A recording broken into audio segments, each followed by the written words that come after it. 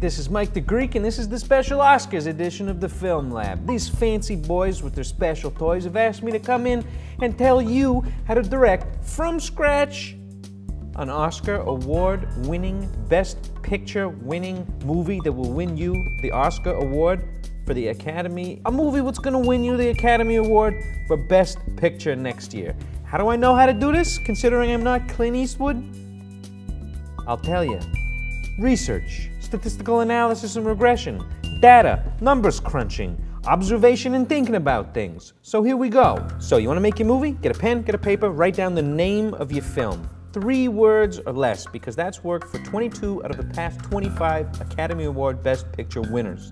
That's 88%. Got your title? Next, you're gonna wanna make it a period piece because 68% of the winners have been period pieces. Although, only one out of the past six winners has been a period piece in the past six years. And that movie, No Country for Old Men, took place in the 80s, which is basically now anyways. And also, for the purposes of this test, I'm counting the Lord of the Rings movie as being a period piece because even though it happens in some kind of tree universe that I don't really recognize, I'm assuming it happened a long time ago. Now, what's your movie gonna be about? It better be about, in some way, somebody that is royalty, or at least American royalty, like the President of the freaking United States.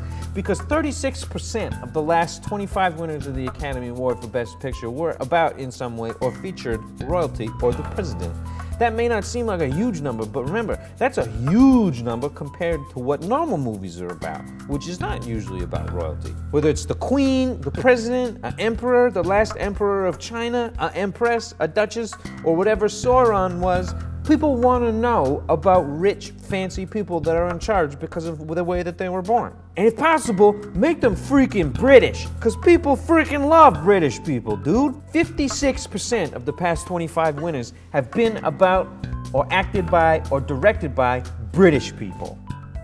If you don't know any British people, they hang out in pubs and at soccer games, so go talk to one of them. It's also important that a central character in your film have some kind of significant handicap. The more overcomable, the better, like Forrest Gump's dim-witted positivity, or the craziness of guys like the guy from Rain Man or A Beautiful Mind that also provided some kind of crazy genius about math and numbers. 32% of Oscar winners from the past 25 years have featured a significantly handicapped person. 44% of winners are somehow about the horrors of war, either specifically like a Hurt Locker or Platoon, or metaphorically, like in The English Patient or The Last Emperor. 88% of past winners had a croaked out dude or babe in it, or had a person that died just before the movie started, which motivated the existence of the movie. And the ones that don't are like Driving Miss Daisy, in which the main characters are like freaking 100 years old, A Beautiful Mind, in which John Nash kills off mentally his hallucination friends, or Shakespeare in Love, in which Shakespeare freaking writes Romeo and Juliet, which is about people dying. So those movies are basically about people dying anyways. Lastly, don't worry too hard about women.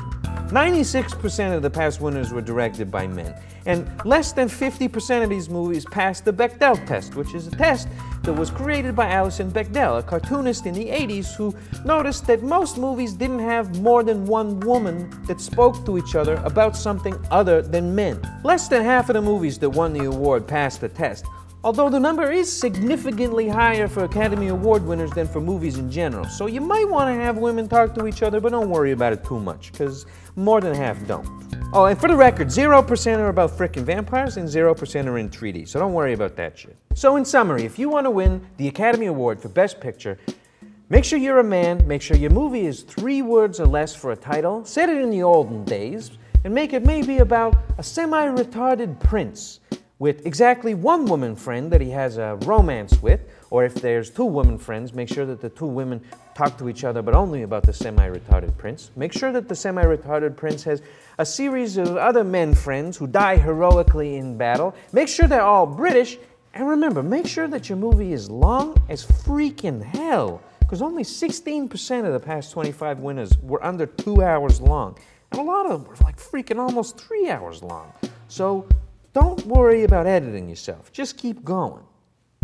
I look forward to seeing your great movie. I bet it's gonna be awesome if you use my help. Remember, this data is all there on Wikipedia. You just gotta look at it.